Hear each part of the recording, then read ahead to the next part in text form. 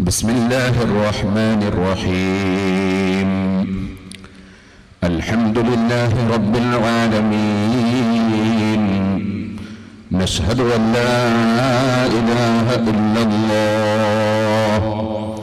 ونشهد أن محمدا عبده ورسوله.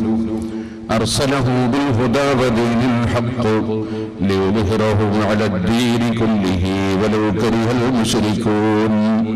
اللهم صل وسلم وبارك على رسولك وحبيبك سيدنا محمد وعلى آل وأصحاب سيدنا ومولانا محمد وعلى جميع الأنبياء والمرسلين.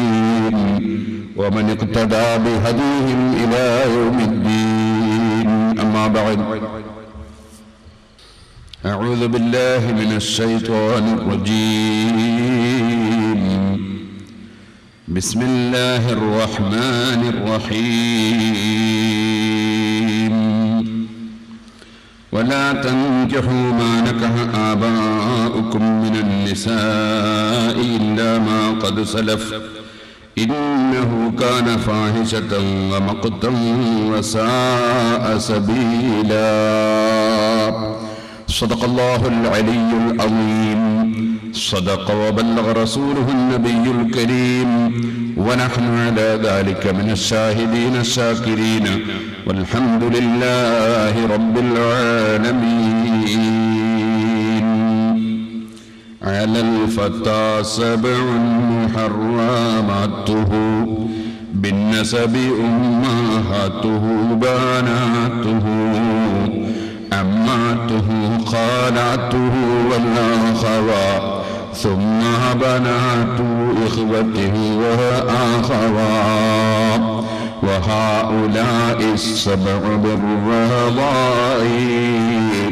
يهرمن أيضا أخي فراعي يا رب صل على من حل بالحرم طه الرسول الذي قد خص بالكرم. يا رب بالمصطفى بلغ مقاصدنا واغفر لنا ما مضى. يا واسع الكرم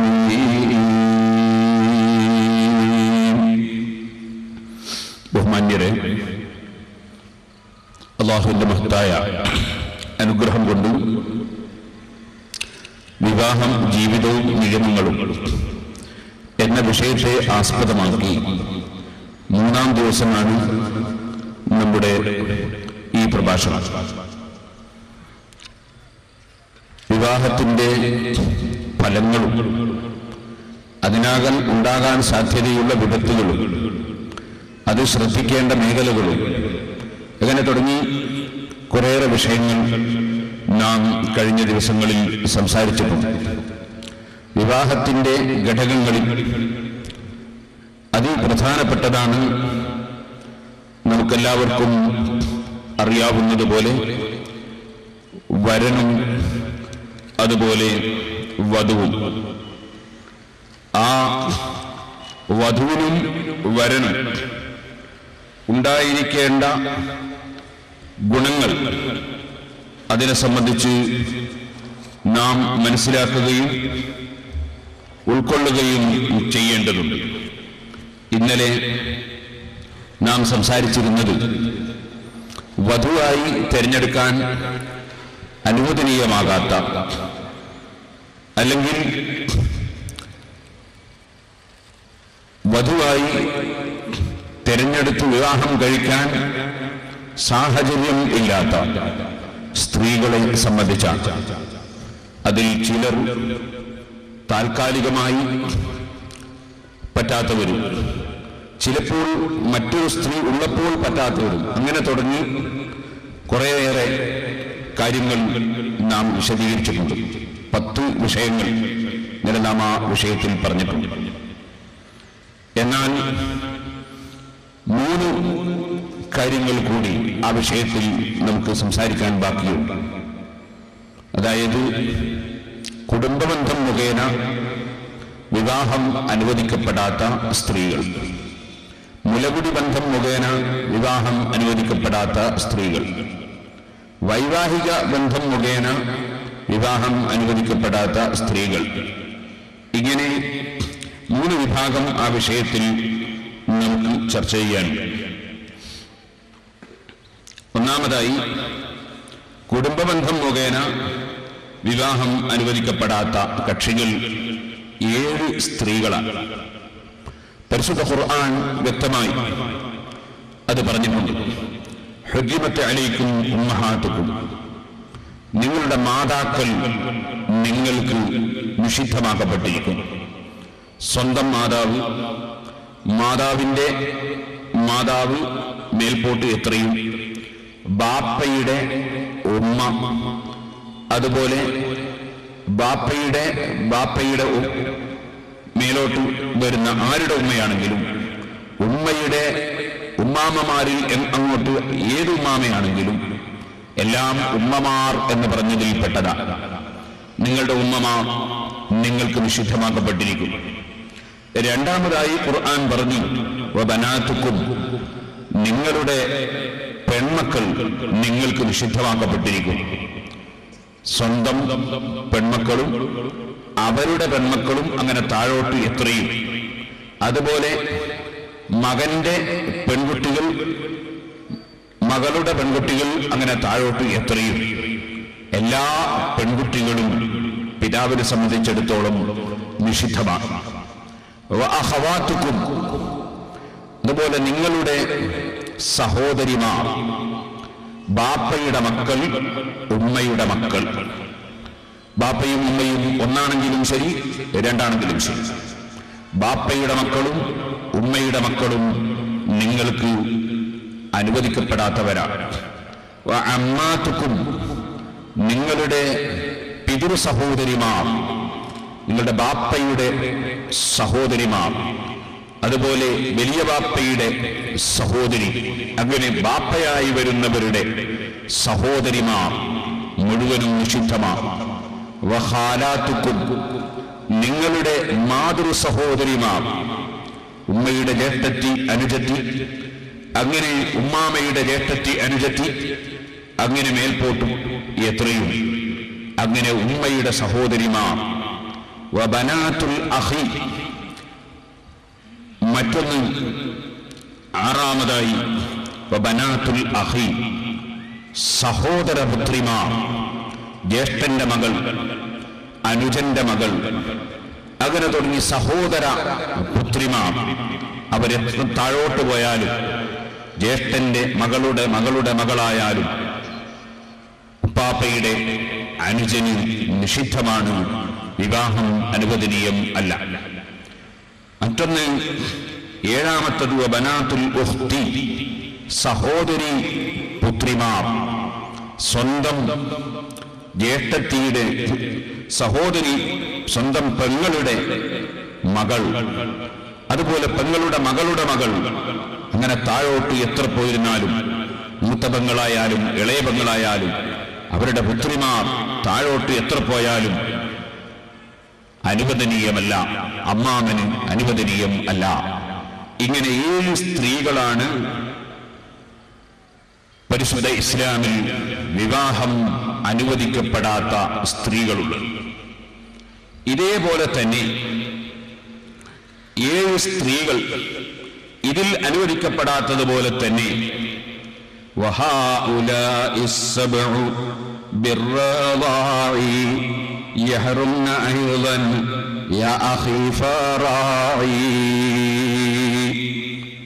പരിശുദ്ധ ഖുർആാനിൽ അള്ളാഹു താല ഹുരിമത്ത് അലൈക്കും ഉമ്മഹാത്തും ബനാത്തുക്കും അഹവാത്തുക്കും حرمت عليكم أمهاتكم وبناتكم وأخواتكم وعماتكم وخالاتكم وبنات الأخ وبنات الأخت എന്ന് പറഞ്ഞ ഉടനെ ഖുർആനിൽ അള്ളാഹു പറഞ്ഞു ഉമ്മഹാത്തുക്കും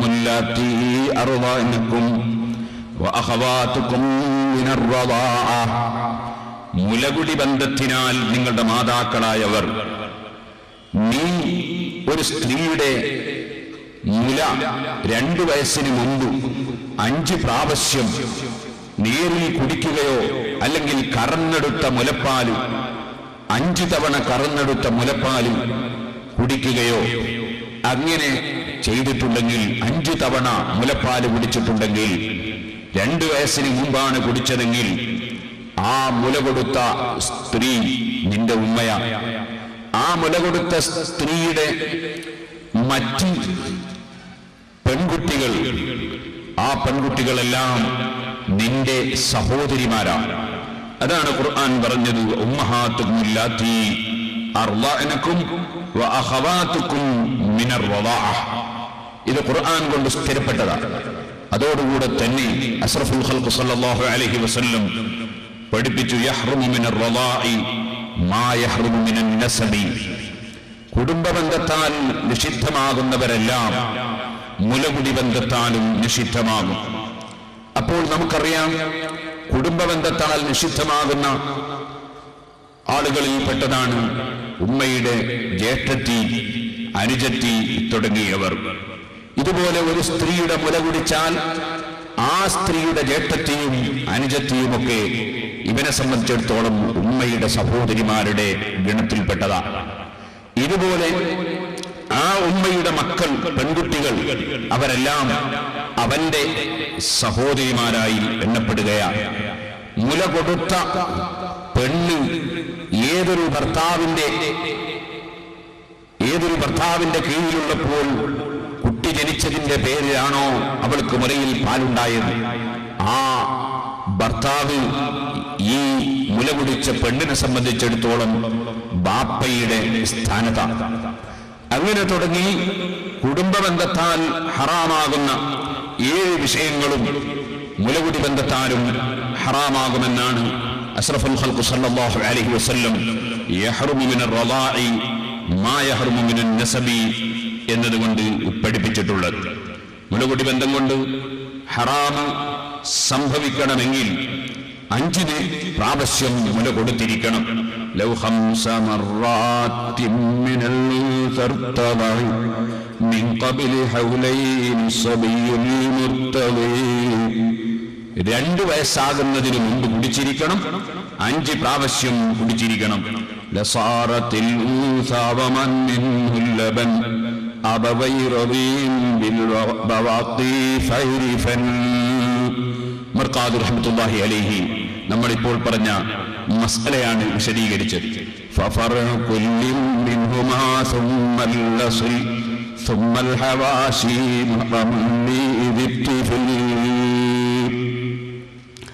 ഈ പറഞ്ഞ കുട്ടിക്ക് ആ കുട്ടിയുടെ ജേഠാനുജന്മാരായി വരുന്നു.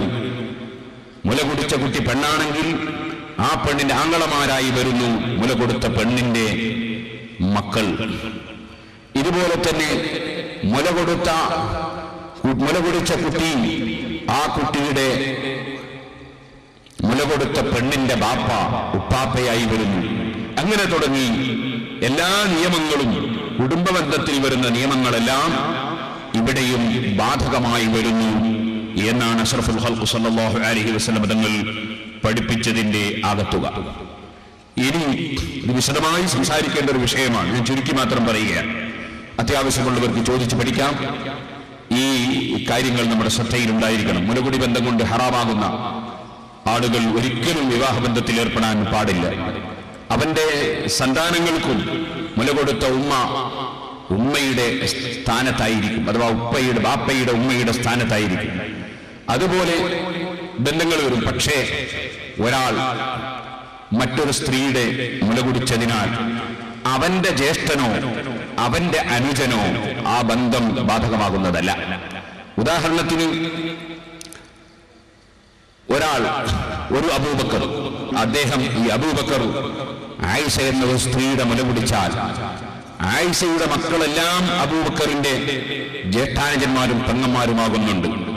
അതേസമയം ഈ അബൂബക്കറിന്റെ ജ്യേഷ്ഠനോ അനുജനോ ആയിഷയുമായി ബന്ധമില്ല.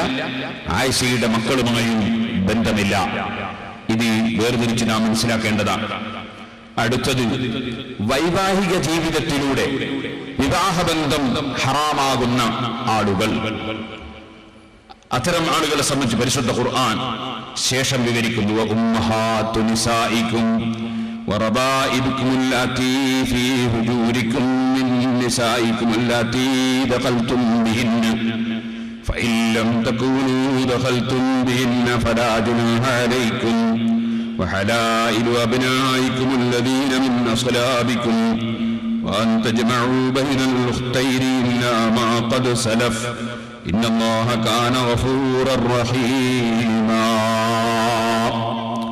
സൂറത്തു നിസായിൽ നിയമങ്ങൾ ഇങ്ങനെ പറയുന്നതിനിടയിൽ അള്ളാഹു സുബ്ഹാനഹു തആല സ്വന്തം മാതാക്കളും പെൺമക്കളുമൊക്കെ വിവാഹബന്ധം നിഷിദ്ധമായവരാണെന്ന് പറയുന്നതിന് മുൻപ് അതിന്റെ ഇരുപത്തിരണ്ടാമത്തെ ആയത്തിൽ പഠിപ്പിച്ചു.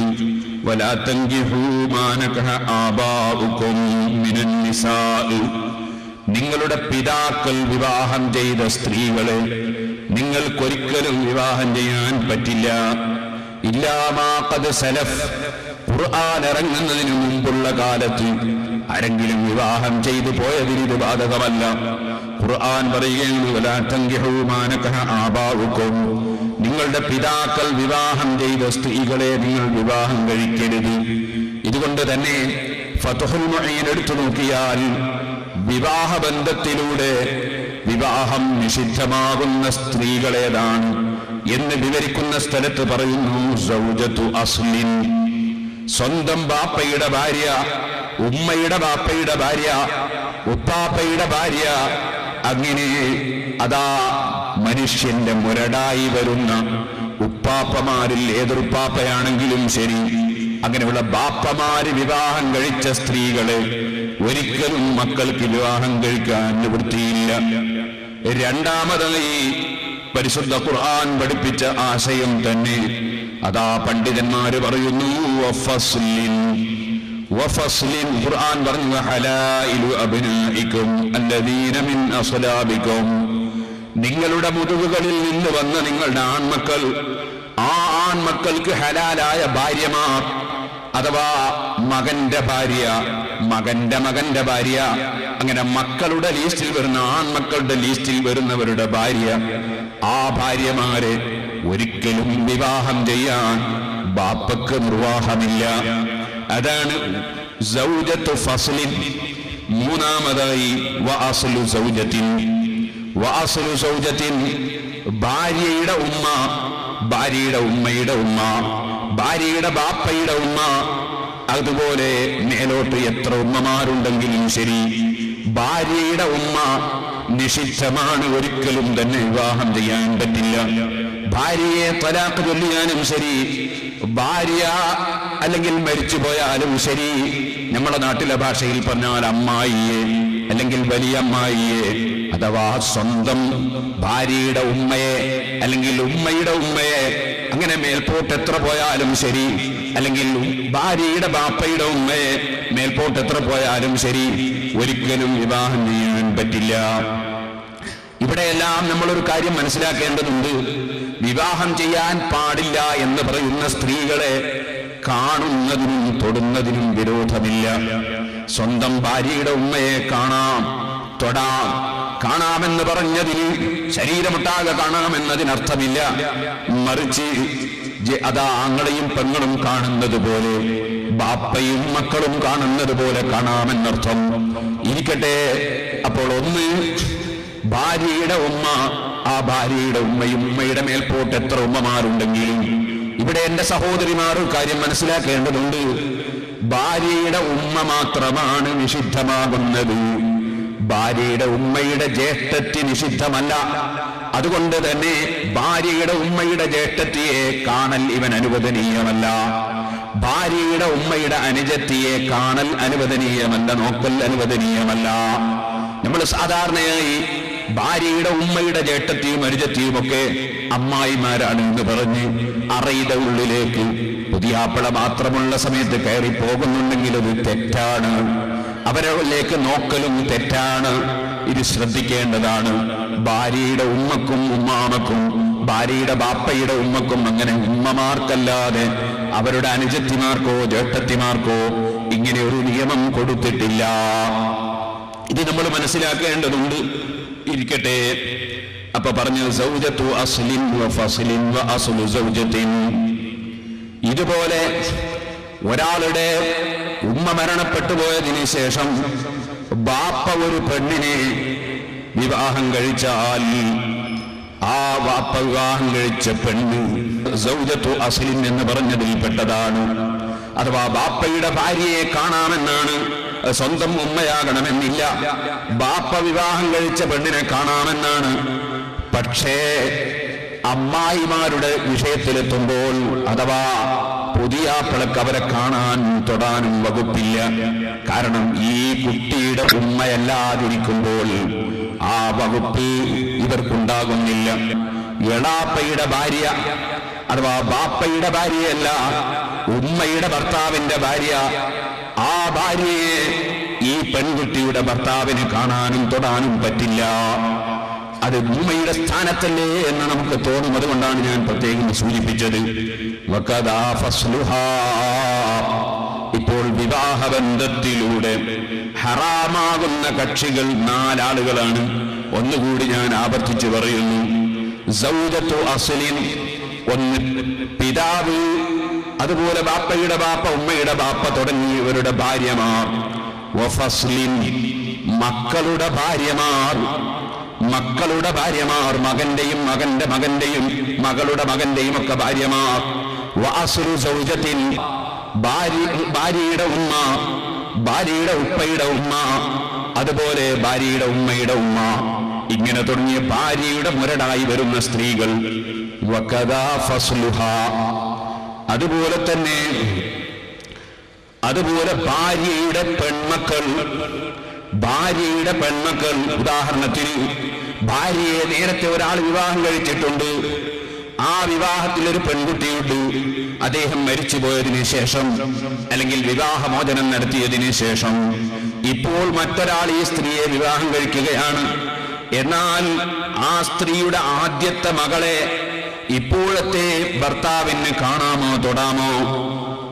കാണാം തൊടാം പക്ഷേ അതിനൊരു നിബന്ധനയുണ്ട്. എന്താണ് നിബന്ധന? ഈ പുതിയ ഭർത്താവ് ഭാര്യയുമായി ലൈംഗിക ബന്ധത്തിൽ ഏർപ്പെട്ടിരിക്കണം. ലൈംഗിക ബന്ധത്തിൽ ഏർപ്പെട്ട് കഴിഞ്ഞാൽ ഈ പെണ്ണിന്റെ ആദ്യത്തെ മകൾ ഈ ഭർത്താവിന് ഒരിക്കലും വിവാഹം കഴിക്കാൻ പറ്റാതെ വിവാഹം കഴിക്കാൻ പറ്റാത്ത കൂട്ടത്തിൽ പെട്ടുപോയി. അപ്പോൾ ആ പെൺകുട്ടിയെ അഥവാ ഭാര്യയുടെ മകളെ അവന് കാണാം തൊടാം. ഇതാണ്. പരിശുദ്ധ ഖുർആൻ ആ വിഷയം പറഞ്ഞു ും എന്ന് പറഞ്ഞതിന് ശേഷം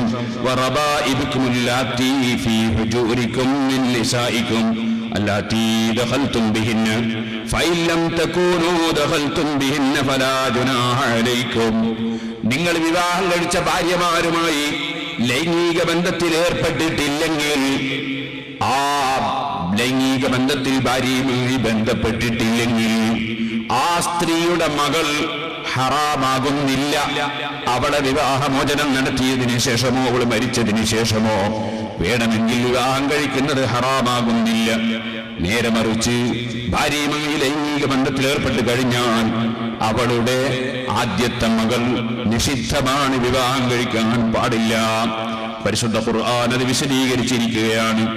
ഖുർആൻ ഇറങ്ങുന്നതിന് മുമ്പ് എന്താണ് സംസ്കാരമെന്നോ എന്താണ് കുടുംബ ബന്ധമെന്നോ അറിയാത്ത ജനങ്ങൾ ചെയ്തു പോയ ചില വിവാഹങ്ങളുണ്ട്.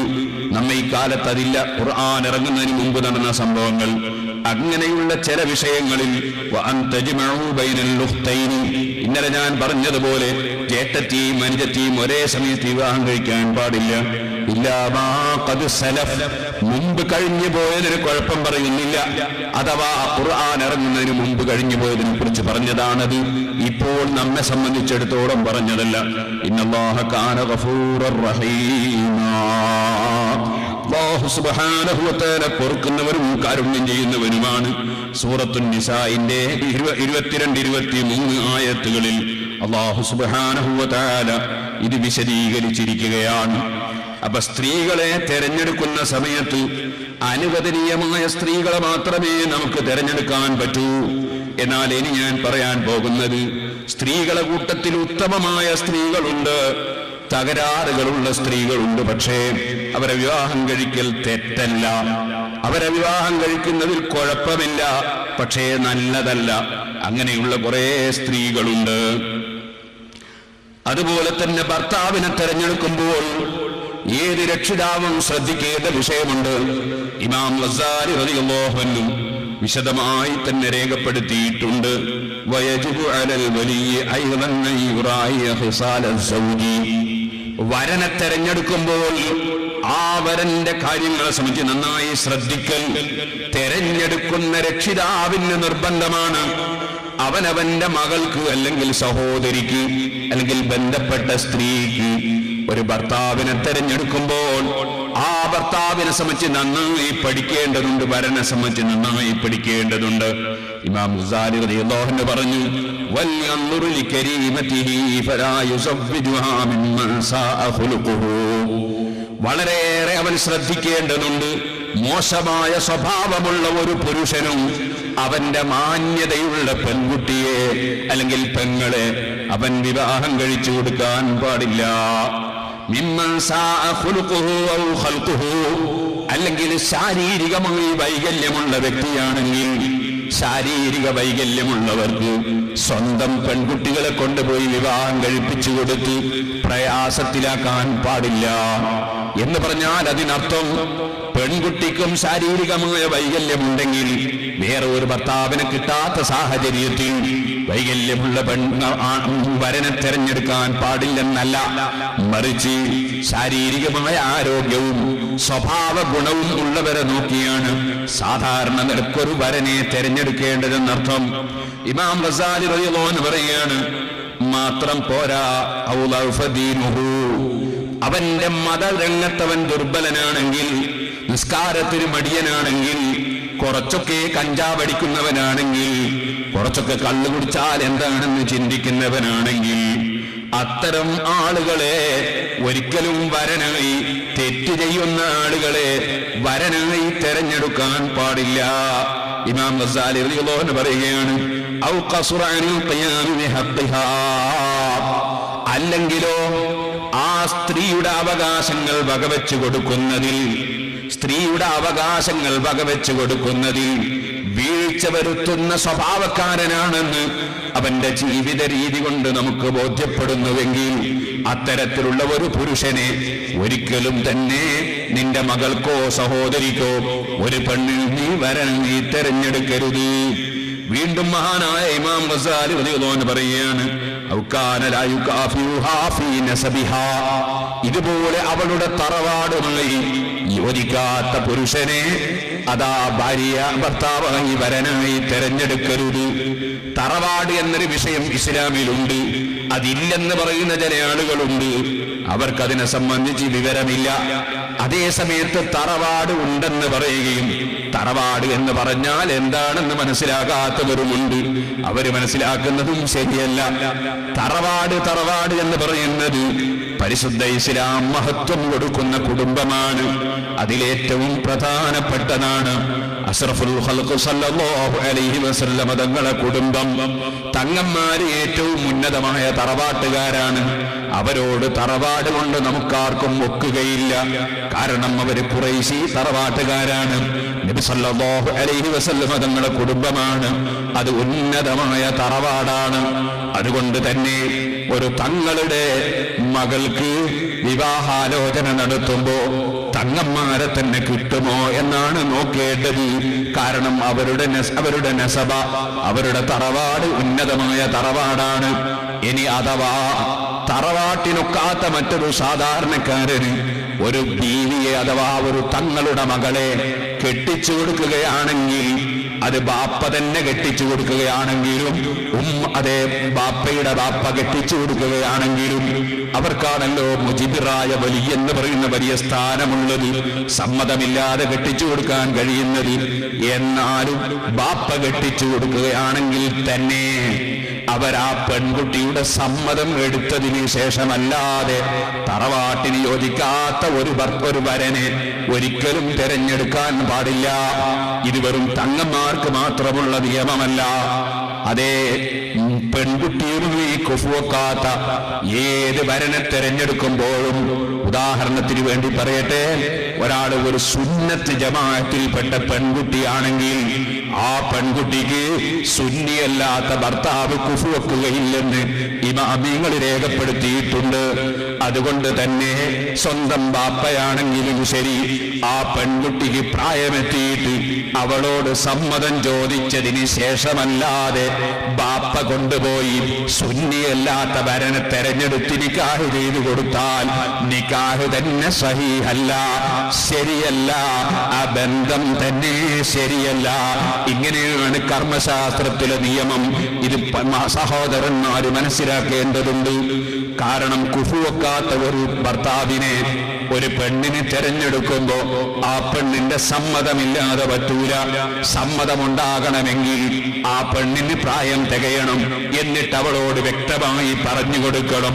എന്നിട്ട് അവൾ സമ്മതിച്ചാലേ കർമ്മശാസ്ത്ര നിയമം അനുസരിച്ച് തന്നെ നിക്കാഹ് സഹീഹാവുകയുള്ളൂ എന്ന് നാം മനസ്സിലാക്കേണ്ടതുണ്ട്.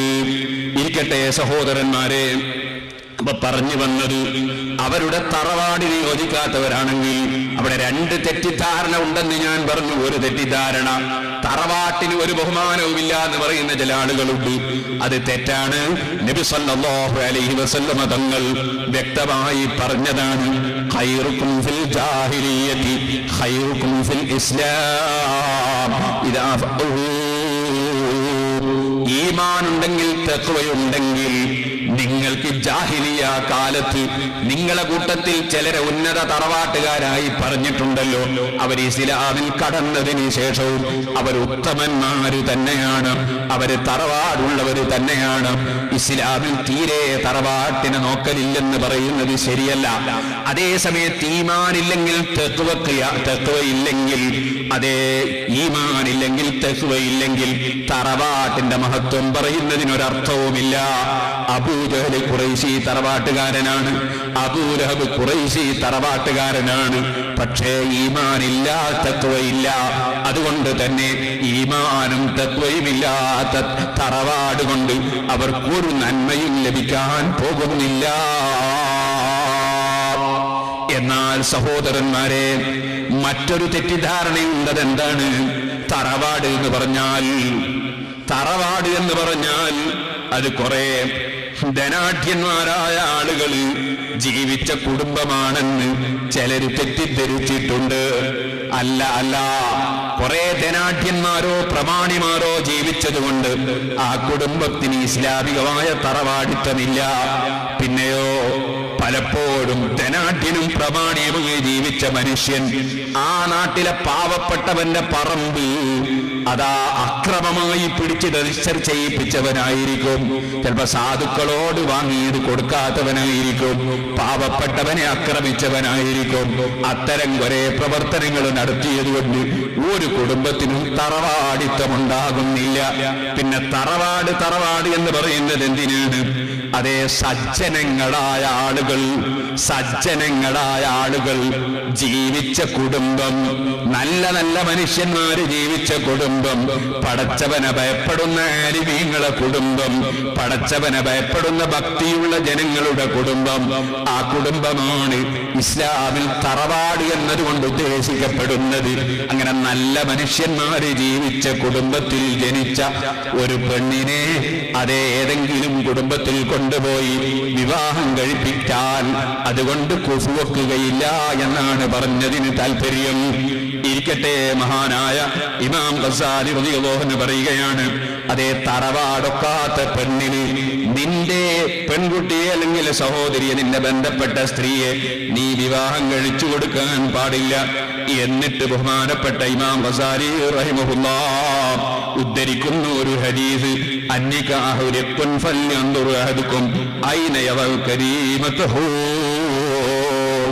വാസ്തവത്തിൽ വിവാഹം കഴിക്കുന്നതോടെ ഭർത്താവിന്റെ കസ്റ്റഡിയിലേക്ക് വരികയാണ് ഭാര്യ.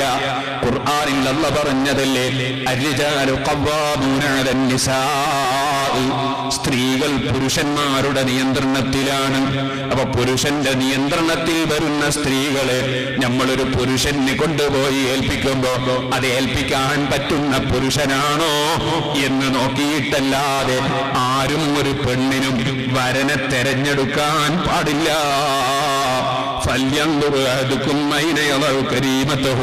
അവന്റെ മാന്യവതിയായ പെണ്ണിനെ അവന്റെ അവന്റെ മകളെ അല്ലെങ്കിൽ സഹോദരിയെ ആരുടെ കയ്യിലാണ് കൊടുക്കുന്നതെന്ന് ഓരോരുത്തരും ചിന്തിക്കേണ്ടതുണ്ട് എന്ന് നബി സല്ലല്ലാഹു അലൈഹി വസല്ലമ തങ്ങൾ പഠിപ്പിച്ചതായി ഇമാം ബസാരി റഹിമഹുന്ന ഉദ്ധരിക്കുന്നു ഹദീസിൽ വന്നാലും വന്നില്ലെങ്കിലും ഏത് ബുദ്ധിയുള്ളവനും ആലോചിക്കേണ്ട ഒരു തത്വം തന്നെയല്ലേ സഹോദരന്മാരെ അത് ഇനി മഹാനായ ഇമാം ബസ്സാരി റളിയല്ലാഹു അൻഹു വീണ്ടും പറയുകയാണ്.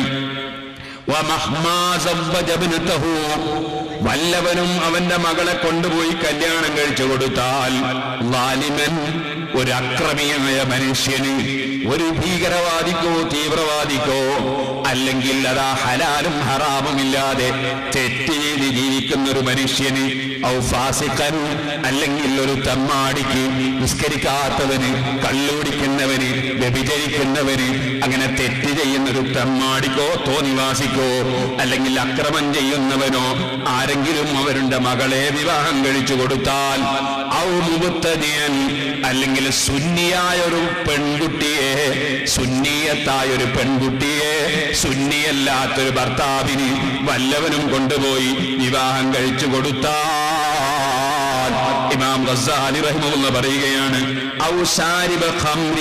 അല്ലെങ്കിൽ കള്ളു കുടിക്കുന്നവന് വിവാഹം കഴിച്ചു കൊടുത്താൽ ഫഖദ് അവന്റെ ദീനിന്റെ മേൽ അവന്റെ മതത്തിന്റെ മേൽ അവൻ അക്രമം ചെയ്തവനായി. അവൻ അള്ളാഹുവിന്റെ കോപത്തിന്റെ മുമ്പിൽ പോയി നിന്നവനായി. അവൻ അള്ളാഹിന്റെ കോപത്തിന് പാത്രമായി. എന്റെ കാരണം? ലിമാ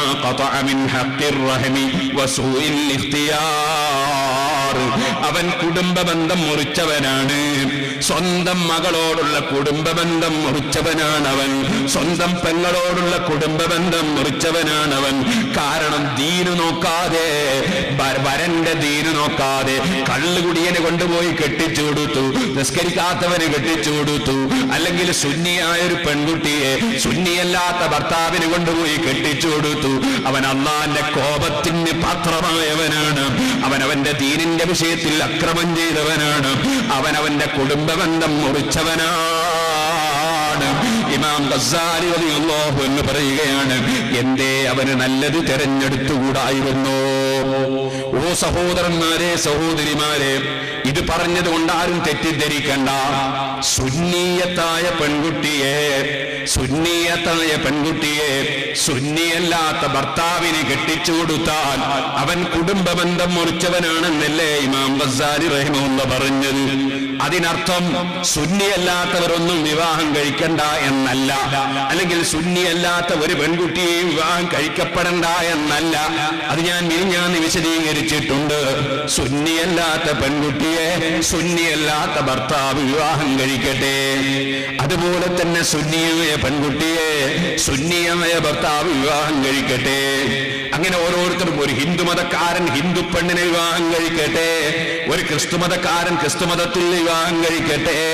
അങ്ങനെ ആദർശ പൊരുത്തമുള്ളവർ തമ്മിൽ വിവാഹം നടന്നാൽ ആ കുടുംബത്തിന് സമാധാനമുണ്ട്. പ്രയാസങ്ങളില്ല ബുദ്ധിമുട്ടുകളില്ല ശല്യങ്ങളില്ല. അല്ലെങ്കിലോ നിങ്ങളൊന്ന് നോക്കൂ. അല്ലെങ്കിലോ ബാപ്പ മരിച്ചു. മരിച്ച വീട്ടുന്നതാ ബാപ്പ മരിച്ചപ്പോ. ഒരൽപ്പം ഒരു സൂറത്തുൽ ഫാത്തിഹ ഒരു ചെയ്യാമെന്ന് ഭാര്യ കരുതുകയാണ്. നബിസല്ലാഹു അലഹി വസല്ലമ തങ്ങൾ പറഞ്ഞതാണല്ലോ.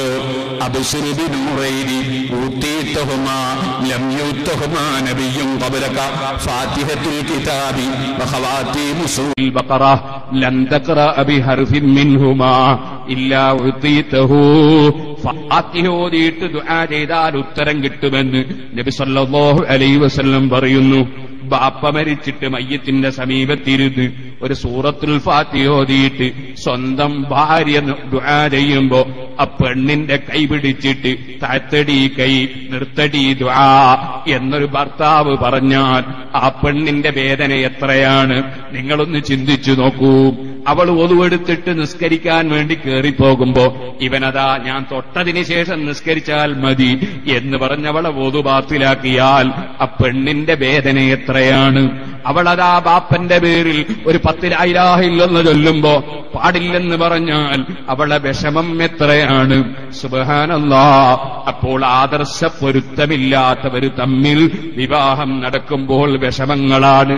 ഇതുപോലെ സുന്നിയല്ലാത്ത ഒരു പെൺകുട്ടിയെ ഒരു ഭർത്താവ് വിവാഹം കഴിച്ചിട്ട് ആ ഭർത്താവ് അവളോട് നീ വീട്ടിലിരിക്കൂ നീ ബുഹുറു നിസ്കരിക്കൂ എന്ന് പറയുമ്പോ ഇല്ല ഞാനിങ്ങ് ജുമാക്ക് പോവുകയാണ്. നിങ്ങൾ അപ്പുറത്തെ പള്ളിയിൽ പോയിക്കോ ഞാൻ ഇപ്പുറത്തെ പള്ളിയിലേക്കാ പോകുന്നത്. എന്ന് പറഞ്ഞു പോയാൽ അവന്റെ വേദന എത്രയാണ്? അവന്റെ മനപ്രയാസം എത്രയാണ്? അവൻ ജനങ്ങൾക്കിടയിൽ പരിഹാസ്യനായില്ലേ?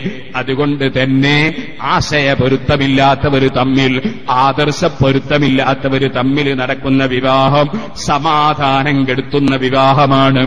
ഒരു മകളുടെ സമാധാനം മരിക്കുന്നത് വരെ നഷ്ടപ്പെടുത്തിക്കൊണ്ടല്ലോ ഒരാൾ വിവാഹം കഴിപ്പിക്കേണ്ടത് മകനും അതാ സമാധാനം നഷ്ടപ്പെടുന്ന വിധത്തിലല്ലോ വിവാഹം കഴിക്കേണ്ടത്. എന്നാൽ ഇത്തരം വിഷയം പറയുമ്പോൾ അവിടെ ഒരു കാര്യം കൂടി പറയേണ്ടതുണ്ട്. കുടുങ്ങിയ ചില സന്ദർഭങ്ങളുണ്ട്. കുടുങ്ങിയാലുള്ള മസല മറ്റൊന്നാണ്. കുടുങ്ങിയാലുള്ള മസല മറ്റൊന്നാണ്. അതേത് വിഷയത്തിലും അങ്ങനെ തന്നെയാണ് നിയമം. ഞാൻ അതിനൊരു ചെറിയ ഉദാഹരണം പറയാം. അഷ്റഫുൽ ഖൽഖ് സല്ലല്ലാഹു അലൈഹി വസല്ലമ തങ്ങളുടെ സമീപത്ത് വന്നിട്ട് ഒരാൾ പറഞ്ഞു നബിയെ ഇന്നമ്രീലാമിസിൻ എനിക്കൊരു ഭാര്യയുണ്ട്. ആ ഭാര്യ തൊടുന്ന ആരെയും തിരിച്ചേക്കാത്ത ഭാര്യയാണ്. എന്ന് പറഞ്ഞാൽ ഏത് പുരുഷൻ വന്ന് വിളിച്ചാലും അവളങ്ങ് ഇറങ്ങിപ്പോകും ആര് വന്ന് കൈപിടിച്ചാലും കൂടെ പോകും. അങ്ങനത്തെ ഒരു ഭാര്യയുണ്ട് എനിക്ക്. നബി സല്ലല്ലാഹു അലൈഹി വസല്ലമ തങ്ങളോട് തന്നെ പറഞ്ഞു തൊല്ലിക്കുഹാ അങ്ങനെ കാണുന്നവന്റെ പിന്നാലെ ഇറങ്ങിപ്പോകുന്ന പെണ്ണാണെങ്കിൽ അവളെ നീ വിവാഹമോചനം നടത്തി ഒഴിവാക്കി കളയൂ. ഉടനെ തന്നെ അദ്ദേഹത്തിന്റെ മറുപടി ഇന്നീ ഉഹിബ്ബുഹാ. എനിക്ക് അവളോട് സ്നേഹമാണ് നബിയേ. സംഗതി ഞാൻ അവളെ സ്നേഹിച്ചു പോയി അവളാണെങ്കിലോ അവളതാ ആര് വന്ന് വിളിച്ചാലും കൈപിടിച്ചാ പോകുന്ന പെണ്ണാണ്. പക്ഷേ ഞാൻ അവളെ തലാക്ക് കൊല്ലണമെന്ന് തങ്ങൾ പറഞ്ഞു. നബിയെ എനിക്ക് അവളോട് താല്പര്യമാണ് ഉടനെ അള്ളാഹുവിന്റെ റസൂലിന്റെ മറുപടി അംസിക്കുക എന്നാൽ അവളെ നീ തലാക്ക് ചൊല്ലണ്ട. നിന്റെ ഭാര്യയായി തന്നെ നിലനിർത്തിക്കോ. എന്താണ് നബി സല്ലല്ലാഹു അലൈഹി വസല്ലം തങ്ങൾ അങ്ങനെ പറയാൻ കാരണം? അവൾ ചെയ്യുന്ന തെറ്റിന് അംഗീകാരം കൊടുത്തതല്ല. മറിച്ച് ഇവളൊരു നല്ല ഭംഗിയുള്ള ഒരു പെണ്ണാണ്. അവൾ ആര് വന്ന് കൈപിടിച്ചാലും പോവുകയാണ്. ആ പെണ്ണിനോട് മനുഷ്യ ഭർത്താവിന്റെ മനസ്സിന് സ്നേഹമുണ്ട്. പക്ഷേ അവൾ ശരിയില്ല. അപ്പൊ നീ തലാത്ത് ചൊല്ലൂ എന്നാദ്യം നിർദ്ദേശം നൽകി. തലാത്ത് ചൊല്ലൂ എന്ന് പറയുമ്പോൾ അദ്ദേഹത്തിന്റെ മറുപടി ഞാൻ അവളെ ഇഷ്ടപ്പെടുന്നു എന്നാണ് അപ്പോൾ അവിടുന്ന് മറുപടി ഒന്ന് മാറ്റി അങ്ങനെയാണ് സാഹചര്യമെങ്കിൽ ഇയാൾ കുടുങ്ങിയ മനുഷ്യനാണ്. അതുകൊണ്ട് തന്നെ അബോഹുവിന്റെ റസൂലിന്റെ വാക്ക് അംസിക്കുക അവളെ നീ പിടിച്ചു നിർത്തിക്കോ. കാരണം അവളെ അദ്ദേഹം തലാക്ക് ചൊല്ലിയാൽ ചിലപ്പോ അയാളോടും ഹറാമായ നിലയ്ക്ക് അവളെ സമീപിച്ചു പോകും. ഇപ്പോഴത്തെ സാഹചര്യത്തിൽ മറ്റുള്ളവർ സമീപിക്കുന്നത് ഹറാമാണെങ്കിലും അദ്ദേഹം സമീപിക്കുന്നത് ഹറാമല്ല. അതുകൊണ്ട് അയാളും കൂടി ഹറാം ചെയ്തു പോകണ്ട. എന്നതുകൊണ്ട് നബി സല്ലല്ലാഹു അലൈഹി വസല്ലം എന്ന് പറഞ്ഞു. സ്വാഭാവികമാണ്. നമ്മൾ ചിലപ്പോ ഡോക്ടർമാർ കാൽ മുറിച്ചു കളയാൻ വേണ്ടി പറയാറുണ്ട്. അതിനർത്ഥം മുറിച്ച കാലൊക്കെ നല്ലതാണ് എന്നല്ല. മറിച്ച് കാൽ മുറിച്ച് ശരീരം രക്ഷപ്പെടുത്താനാണ്. കൈ മുറിക്കാൻ പറയാറുണ്ട് പല്ലെടുക്കാൻ പറയാറുണ്ട്. ചിലപ്പോൾ അതേ താടിയുടെ എല്ലെടുത്ത് കളയാൻ പറയാറുണ്ട് അള്ളാഹു കാക്കട്ടെ. അതെന്തിനാ? ശരീരം ബാക്കിയുള്ളത് നിലനിർത്താനാ? ഇതുപോലെ ഒരു വസ്തു കുടുങ്ങിയാലുള്ള മസാല അത് മറ്റൊന്നാണ്. യഥാർത്ഥത്തിൽ നേർക്കുനേരെയുള്ളതാണ് ഞാൻ ഇതുവരെ വിശദീകരിച്ച ഇമാം ഗസാലി റളിയല്ലാഹു പറഞ്ഞ സംഭവം പറഞ്ഞ നിയമം എന്ന് സാന്ദർഭികമായി ഞാൻ ഉണർത്തുകയാണ്. ഒരാൾ വിവാഹം കഴിച്ചു കൊടുക്കുമ്പോ സുന്നിയത്തായ പെണ്ണിനെ തന്നെ വിവാഹം കഴിച്ചു. കുറച്ചു ദിവസം കഴിഞ്ഞപ്പോൾ അവൾ ആശയം മാറിപ്പോയി. അല്ലെങ്കിൽ ഭർത്താവിന്റെ ആശയം മാറിപ്പോയി. എന്നാൽ അത്തരം ആളുകൾ കുടുങ്ങിയവരാണ്. അവർക്ക് ഉപജീവിതം നയിക്കാതെ നിവൃത്തിയില്ലാത്ത സാഹചര്യമാണെങ്കിൽ തെറ്റുകൾ വന്നു പോകുമെങ്കിൽ അവർക്ക് ആ കൂട്ടുജീവിതം തുടരാം. അതേ സമയത്ത് അവനവന്റെ ആഹ്റത്തിന്റെ കാര്യം പ്രത്യേകം ശ്രദ്ധിച്ചുകൊണ്ട് മാത്രമേ പാടുള്ളൂ. ഇതെല്ലാവർക്കും ബാധകമാണ് ഒരു കക്ഷിക്ക് മാത്രം ബാധകമല്ല. സുന്നി അല്ലാത്ത ഒരാളാണ് നോക്കുക. അവർക്കും ഒരു ബാധകമാണ് കാരണം അവർ സുന്നിയായ പെൺകുട്ടി വിവാഹം കഴിച്ചു. അവരെ ദൃഷ്ടിയിൽ മങ്കൂസ് മൊലിതോതിയ ഇസ്ലാമെന്ന് പുറത്തു അപ്പൊ ഇവൾ വന്ന അന്ന് തന്നെ കല്യാണം കഴിച്ച അന്ന് തന്നെ ഒരു മങ്കൂസ് മൊലിതോതാൻ നേർച്ചുണ്ട് ഇവൾ ആദ്യത്തെ തന്നെ മൊലിത്ത് അവിടുത്തെ വെച്ചൊരു മങ്കൂസ് മൊലിത് ارتكبت على الخطا غير حسن وعدد لك أشكو فيه يا سيدي خير النبي നബി സല്ലല്ലാഹു അലൈഹി വസല്ലം തങ്ങളോട് ശുപാർശ തേടുന്ന ഈ പദ്യം ചൊല്ലുമ്പോ അതാ അവന്റെ നേതാവ് പറഞ്ഞു കൊടുക്കുന്നത് എന്റെ ഭാര്യ അതാ അബൂജഹലിനെക്കാണ് അപ്പുറത്തായി പോയി അബൂജഹലിനെക്കാണ് അപ്പുറം. അതാ ഇസ്ലാം എന്ന് പുറത്തുപോയി. പിന്നെ ഇവന്റെ മനസ്സിനൊരു വിഷമം. കാരണം പഠിച്ചവനൊരു മുസ്ലിമായ പെണ്ണിനെ കിട്ടിയില്ലല്ലോ. അബൂജഹലല്ലേ എന്റെ പെണ്ണ്? സുഖാനന്ദ അവനും പ്രശ്നമായില്ലേ? അവനും പ്രശ്നമായില്ലേ? നേരെ മറിച്ച് അവൻ അവന്റെ കൂട്ടത്തിൽപ്പെട്ടതിനെയും ഇവൾ ഇവളെ കൂട്ടത്തിൽപ്പെട്ടതിനെയുമാണ് സ്വീകരിച്ചതെങ്കിൽ ഈ പ്രശ്നം വരാനുണ്ടോ സഹോദരന്മാരെ? വീട്ടുന്നതാ അവളതാ പള്ളിയിലേക്ക് പോകാൻ ഇറങ്ങുന്നു അവൻ പറയുന്നു പോകാൻ പാടില്ല ജുമാക്ക് പോകാൻ പാടില്ല. അപ്പൊ മക്കളുടെ മുമ്പിൽ വെച്ച് രണ്ടാളും തമ്മിൽ തല്ലുകൂടുന്നു. മക്കൾ എല്ലാവരും കൂടി പൊട്ടിക്കരയുന്നു. ബാപ്പയുമ്മയും കൂടി തല്ലുകൂടുകയാണ്. എന്താണ് പള്ളിയിൽ പോകരുത് എന്ന് അവനും ഞാൻ പോയേ പറ്റൂ എന്ന് അവളും സുഖാണത മക്കൾ കരയുന്നു. ഈ സാഹചര്യം ഉണ്ടായത് എന്തുകൊണ്ടാണ്? ആദർശ പൊരുത്തമില്ലാത്തവർ തമ്മിൽ വിവാഹം നടന്നതുകൊണ്ടല്ലേ? അതുകൊണ്ട് തന്നെ സമാധാനപരമായ ജീവിതം നയിക്കാൻ സുന്നികൾ സുന്നികളെ തെരഞ്ഞെടുക്കുക സുന്നി അല്ലാത്തവർ അവരെ കൂട്ടത്തിൽപ്പെട്ടവരെ തെരഞ്ഞെടുക്കുക അങ്ങനെ ഓരോ കക്ഷികളും അവരവരെ കക്ഷികളെ തെരഞ്ഞെടുക്കുക ആശയപരമായി എന്നാ സമാധാനപരമായ വൈവാഹിക ജീവിതം നയിക്കാം. ഇതിനപ്പുറം പലപ്പോഴും വൈവാഹിക ജീവിതത്തിൽ പ്രശ്നങ്ങളാണ് ഇനി ഒരു ഭർത്താവിന് നല്ല വിവരവും തന്റെ ഇടവും ഉണ്ടായിട്ട് അവളെ അവൾക്ക് അതാ സുന്നത്ത് ജമാഅത്തിന്റെ ആശയങ്ങളൊക്കെ ശരിക്ക് പറഞ്ഞ് മനസ്സിലാക്കി കൊടുത്ത് അവളെ മാറ്റിയെടുക്കാൻ കഴിയുമെന്നും അവളെ കുടുംബത്തെ മാറ്റിയെടുക്കാൻ കഴിയുമെന്നും ബോധ്യമുണ്ടെങ്കിൽ അവന്റെ നിയമത്തിനും വ്യത്യാസമുണ്ടാകാം. പക്ഷേ അതൊരിക്കലും തന്നെ ചക്ക മുറിച്ചു വെച്ച സ്ഥലത്ത് ഈച്ച പോയി വീഴുന്നത് പോലെ ഈച്ച പോയി വീഴുന്ന ചക്ക എടുക്കാനാണെങ്കിലും ഈച്ച അതിന്റെ മേലെ കുടുങ്ങിപ്പോകലാണ് പലപ്പോഴും പതിവ്. അതുപോലെ ചക്ക മുറിച്ചു വെച്ച സ്ഥലത്ത് ഈച്ച വീണതുപോലെ ആയി പോകുമെങ്കിൽ അത് അപകടമാണ് കേട്ടോ. അവനവന്റെ ആഹ്റത്തിന് അപകടമാണ്. ഇനി ഇരിക്കട്ടെ സഹോദരന്മാരെ എപ്പോഴും എപ്പോഴും അതാ തെക്കുവയുള്ള വരന്മാരെ തെരഞ്ഞെടുക്കുക. തെക്കുവയുള്ള സ്ത്രീകളെ തെരഞ്ഞെടുക്കുക. സ്ത്രീകളെ തെരഞ്ഞെടുക്കുമ്പോൾ ഞാൻ പറയട്ടെ നേരത്തെ നമ്മൾ പറഞ്ഞിരുന്നത് വിവാഹം അനുവദിക്കപ്പെടുന്ന സ്ത്രീകൾ ആരാണ് എന്നതിനെ കുറിച്ചാണ് ഇനി ഞാൻ പറയാൻ പോകുന്നത് സ്ത്രീകളെ കൂട്ടത്തിൽ ഒഴിവാക്കിയാൽ നല്ലതാണ്. അതായത് വിവാഹം നടത്തുമ്പോൾ ആ വിവാഹം വേണ്ടെന്ന് വെച്ചാൽ നല്ലതാണ്. അങ്ങനെയുള്ള ചില സ്ത്രീകളുണ്ട്. വിവാഹം കഴിച്ചതിന് ശേഷം ഇനി മേലിൽ ഞാൻ പറയുന്ന വല്ല തകരാറും ഉണ്ടെങ്കിൽ ആ തകരാറിന്റെ പേരിൽ വിവാഹമോചനം നടത്തണം എന്നല്ല. അത് ഞാൻ അഡ്വാൻസ് ആയി തന്നെ പറയാൻ വിവാഹം കഴിക്കുമ്പോൾ ശ്രദ്ധിച്ചാൽ നല്ലതാണ്. അങ്ങനെയുള്ള ഒരു പത്ത് കാര്യം ഞാൻ ആദ്യമായി പറയട്ടെ. അതിൽ ആറ് കാര്യം അറബികൾ സാധാരണ പറഞ്ഞു വരുന്നതാണ്. നാല് കാര്യം മഹാനായ ഇല്യാസ് നബി അലൈഹി സ്വലാത്തു വസ്സലാം സായിഹുൽ അബദി എന്ന് പറഞ്ഞ മഹാന് അത് ആത്മീയമായ യാത്രയിൽ പറഞ്ഞു കൊടുത്തതാണ്. ഈ പത്ത് കാര്യങ്ങൾ ഇമാം ഗസാലി ലോഹൻ എടുത്തു തിരിച്ചിട്ടുണ്ട് ബക്കറ്റും കൊണ്ട് വരുന്നത് വെള്ളം കോരാനൊന്നുമല്ല. നിങ്ങളോടൊക്കെ നല്ല സംഭാവന വാങ്ങാനാണ്. അതിന് നിങ്ങളെല്ലാവരും നല്ല സംഭാവനകൾ കൊടുക്കണം.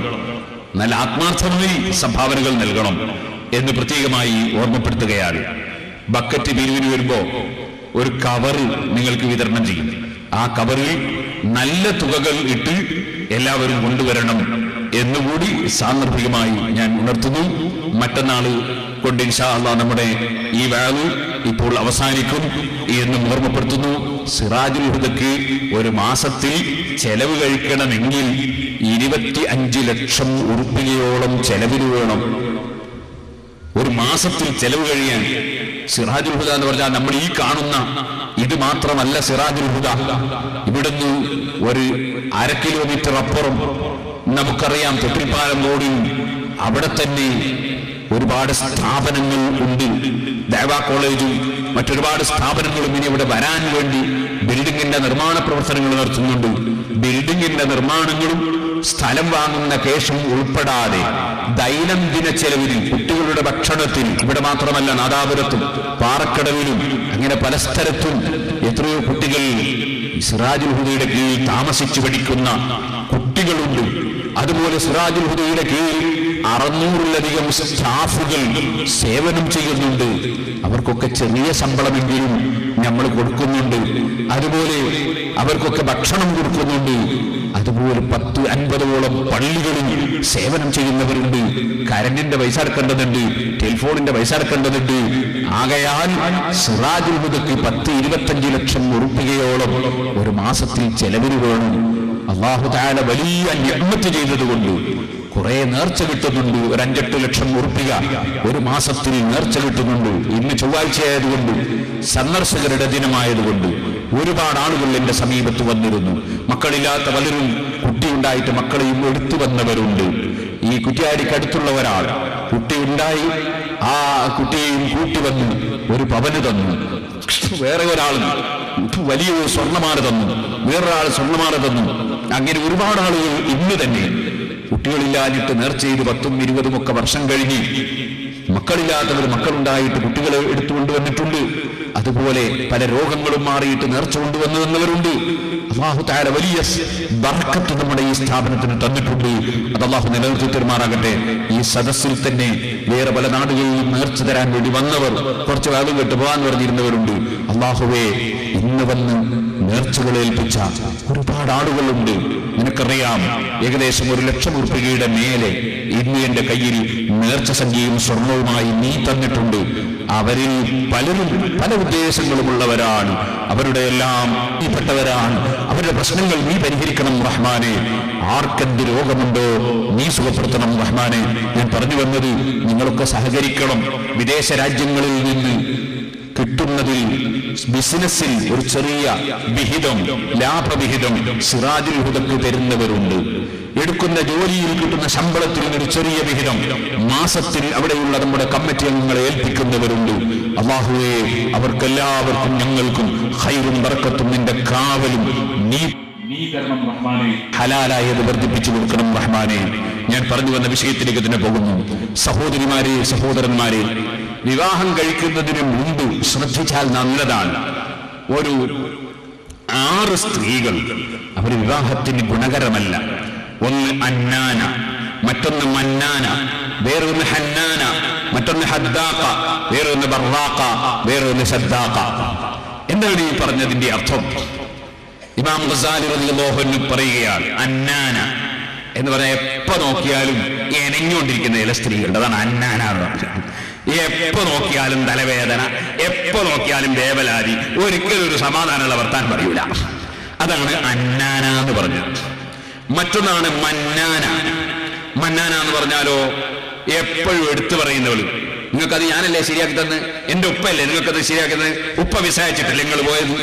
ഇങ്ങനെ അവളെ ഭാഗത്ത് നിന്ന് ഇങ്ങോട്ട് കിട്ടിയത് പറഞ്ഞുകൊണ്ടേ ഇരിക്കുന്ന ചില സ്ത്രീകൾ. അതാണ് മന്നാന. അല്ലെങ്കിൽ നിങ്ങൾക്ക് വേണ്ടിയില്ലേ ഞാൻ അത്ര അധ്വാനിച്ചത്? നിങ്ങൾക്ക് വേണ്ടിയില്ലേ ഞാൻ അങ്ങനെ ചെയ്തത്? ഇങ്ങനെ പറഞ്ഞുകൊണ്ടിരിക്കുന്ന സ്ത്രീകൾ. അതാണ് മന്നാന. പിന്നെ ഹന്നാന. ഹന്നാന എന്ന് പറഞ്ഞാൽ ഏതാണ്?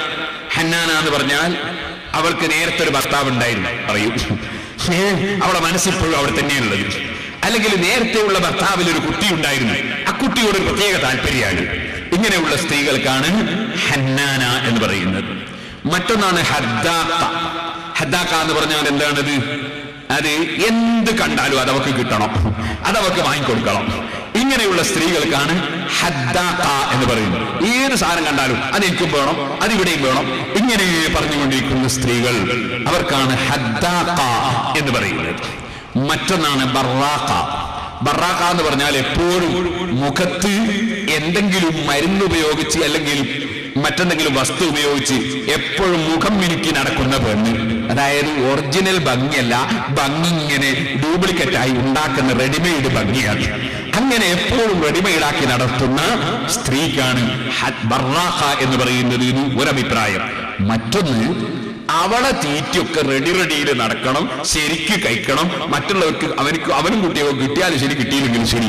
അങ്ങനത്തെ സ്ത്രീകൾക്കും ബർറാഖ എന്ന് പറയുമെന്ന് ഇമാം ബസാലി മോഹൻ വിശദീകരിക്കും മറ്റൊന്ന് ശ്രദ്ധാഖ ശ്രദ്ധാഖ എന്ന് പറഞ്ഞാൽ എന്താണ്?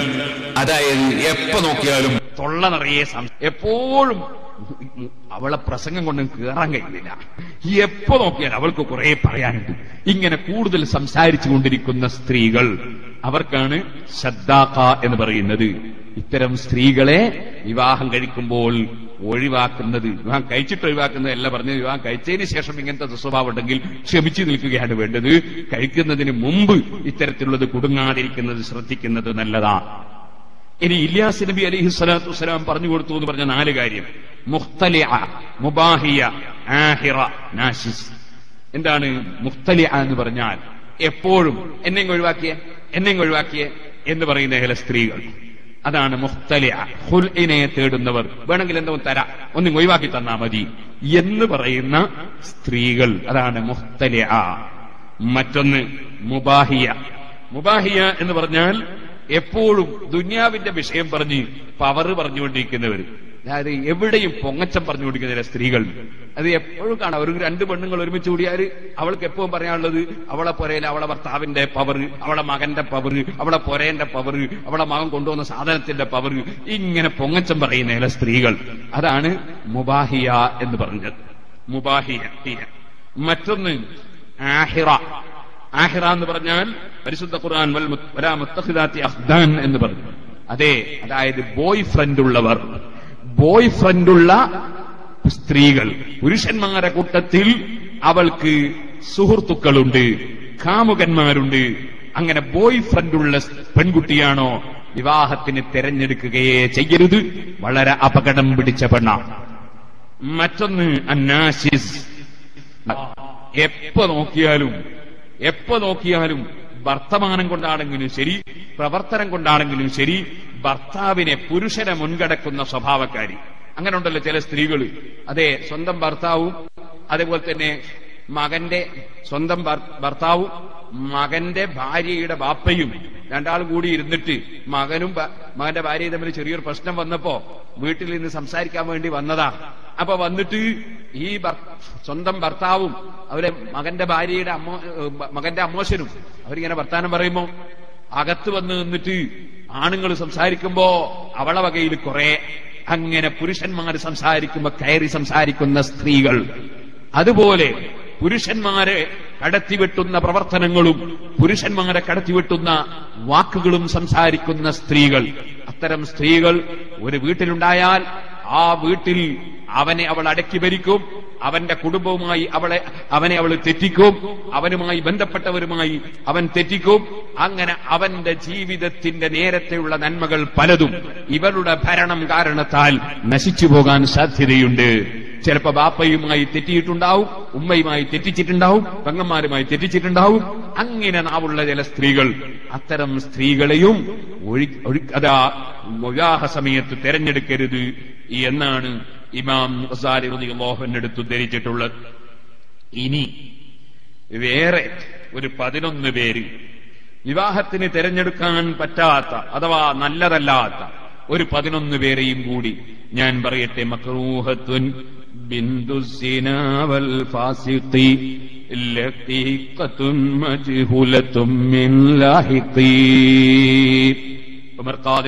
പറയുകയാണ് വ്യഭിചാരത്തിൽ ജനിച്ച പെൺകുട്ടി കറാഹത്താണ്.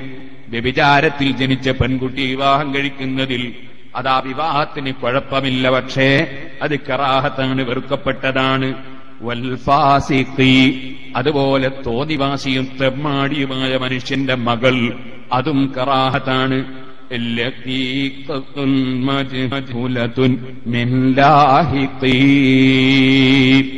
ഒരു പെൺകുട്ടിയെ ഒരു പിൻ ഒരു കുഞ്ഞിനെ എവിടുന്നോ കളഞ്ഞു കിട്ടിയിരിക്കുന്നു. ആ കുട്ടിയുടെ ബാപ്പ ഏതാണെന്നതിനെപ്പറ്റി വിവരമില്ല. അത്തരം കുട്ടിയും കറാഹത്താക്കപ്പെട്ടതാണ്.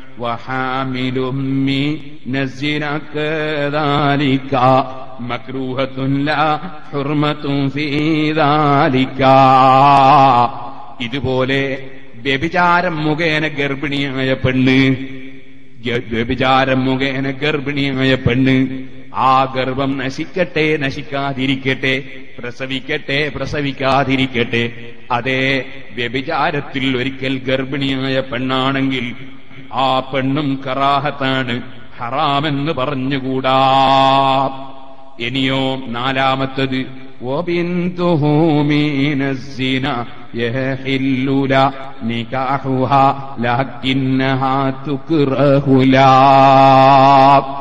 പണ്ഡിതന്മാർക്കിടയിൽ അഭിപ്രായ വ്യത്യാസമുള്ള ഒരു വിഷയമാണ്. ഒരു മനുഷ്യൻ ഒരു സ്ത്രീയെ വ്യഭിചരിച്ചു. ആ വ്യഭിചരിച്ചതിൽ ഒരു പെൺകുഞ്ഞ് ജനിച്ചു. എന്നാൽ ആ പെൺകുഞ്ഞിന്റെ ബാപ്പയായി ആ വ്യഭിചാരിയെ ഇസ്ലാം അംഗീകരിക്കുകയില്ല. നബി സല്ലല്ലാഹു അലൈഹി വസല്ലം നിങ്ങൾ പറഞ്ഞു അതെ അൽ വലദുലിൽ ഫിറാസ് വലിൽ ആഹിരിൽ ഹജറു. അതെ ഒരിക്കലും തന്നെ വ്യഭിചരിച്ച മനുഷ്യന് കുട്ടിയെ കൊടുക്കാൻ അവകാശമില്ല. കുട്ടി വിരുപ്പിന്റേതാണ് ആ ഉമ്മയുടെ കുട്ടിയാണ്. അതേസമയത്ത് അവന്റേതല്ല. വ്യഭിചാരിക്ക് കുട്ടിയല്ല അവന് വാസ്തവത്തിൽ കല്ലാണ് കൊടുക്കേണ്ടത് എന്ന് നബി സല്ലല്ലാഹു അലൈഹി വസല്ലം തങ്ങൾ പറഞ്ഞു. അപ്പൊ ആകയാൽ വ്യഭിചാരിയുടെ ബീജത്താൽ ജനിച്ച ജനി കുട്ടി ആ കുട്ടി അവന് ഹറാമാണെന്നും കറാഹത്താണെന്നും രണ്ടു നിലക്കും പണ്ഡിതന്മാര് പറഞ്ഞിട്ടുണ്ട് അതാണ് മറ്റൊന്ന് وهكذا مرتابة يحملها بعد انقضاء حدة عدة من بعدها നേരത്തെ അവൾ ഒരു ഭർത്താവിന്റെ കീഴിൽ ഭാര്യയായിരുന്നു അവൻ വിവാഹമോചനം നടത്തിയപ്പോൾ അല്ലെങ്കിൽ അവൻ മരിച്ചപ്പോൾ അവൾ കാത്തിരിക്കേണ്ട സമയമാണ് യുദ്ധകാലം എന്നത് ഞാൻ ഇന്നലെ പറഞ്ഞിട്ടുണ്ട്. ആ യുദ്ധകാലം കഴിഞ്ഞു. എന്നാലും അവൾക്ക് ഗർഭമുണ്ടോ എന്ന സംശയത്തിലിരിക്കുന്നു. എന്നാൽ അവളെയും വിവാഹം കഴിക്കുന്നത് നല്ലതല്ല.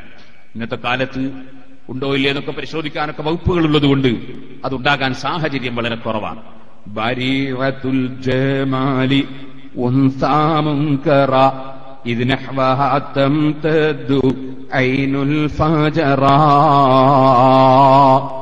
മറ്റൊന്ന് അമിത ഭംഗിയുള്ള സ്ത്രീ. ഭംഗിയുള്ള സ്ത്രീ വിവാഹം കഴിക്കുന്നത് നല്ലതാണ് അതേസമയത്ത് അമിതമായ ഭംഗിയുള്ള സ്ത്രീയെ വിവാഹം കഴിക്കുന്നത് നല്ലതല്ല. എന്താ കാരണം? ഇതിനഹ്വഹാത്തം തദ്ദു ഐനുൽ ഫാജറാ. അമിതമായ ഭംഗിയുള്ള സ്ത്രീയാകുമ്പോൾ ഒരുപാട് തോന്നിവാസികളുടെ കണ്ണ് അവളിലേക്ക് തിരിയാൻ സാധ്യതയുണ്ട്. ഒരുപാട് ആളുകൾ കണ്ണുവെക്കാൻ സാധ്യതയുണ്ട്. അതുകൊണ്ട് അമിതമായ ഭംഗിയുള്ള സ്ത്രീ വിവാഹത്തിന് ഗുണകരമല്ല.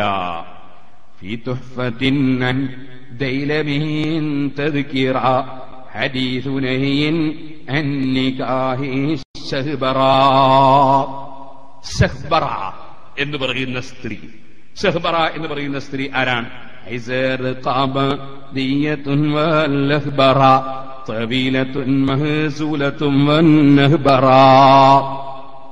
ഷെഹ്ബറ എന്ന് പറഞ്ഞാൽ മോശമായ നാവുള്ള സ്ത്രീ. എപ്പോഴും ഇങ്ങനെ പറഞ്ഞുകൊണ്ടിരിക്കും വേണ്ടാത്തത് പറഞ്ഞുകൊണ്ടിരിക്കും.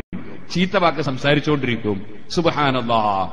സ്വന്തം മക്കളെ തന്നെ ചിലപ്പോ വിളിക്കൽ എന്താണ്? എന്റെ നാവ് കൊണ്ട് പറയാൻ പറ്റാത്ത വാക്കാണ്. സ്വന്തം മക്കളെ ഹിൻസീറ എന്ന് വിളിക്കുക. ഹിൻസീറ എന്ന് വിളിക്കുക. ഹിൻസീർ എന്ന് പറഞ്ഞ വാക്കിന്റെ അർത്ഥം പന്നീന്നാണ് അപ്പോ അല്ലെങ്കിൽ കൽബ എന്ന് വിളിക്കുക.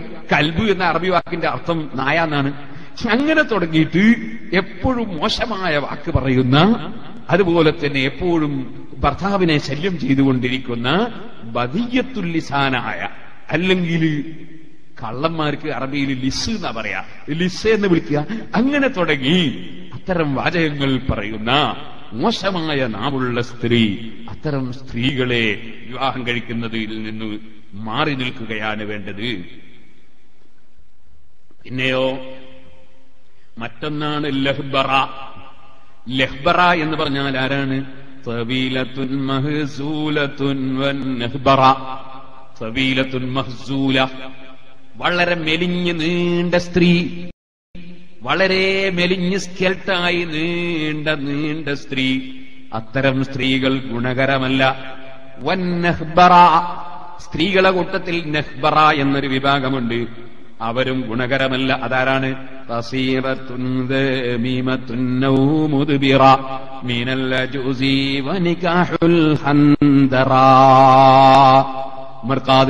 പറയുകയാണ് ആര് കണ്ടാലും ആര് കേട്ടാലും ആരും അതാ അപമാനിക്കുന്ന വിധത്തിൽ തീരെ നീളമില്ലാത്ത പെണ്ണ്.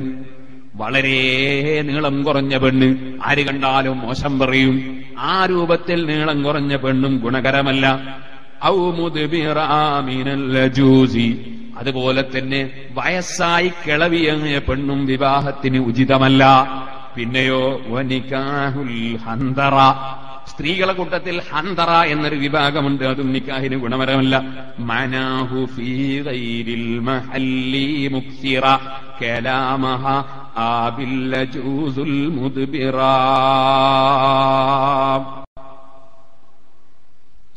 ആവശ്യമില്ലാത്ത സ്ഥലത്ത് കൂടുതൽ സംസാരിക്കുന്ന സ്ത്രീ അതാണ് ഹന്തറ. അവളും ഗുണകരമല്ല. മറ്റൊന്നാണ് അവിൽ അജൂസുൽ മുദ്ബിറ. വാർദ്ധക്യം പ്രാപിച്ച് വൃദ്ധയായ സ്ത്രീ. നേരത്തെ പറഞ്ഞ വാക്കിനും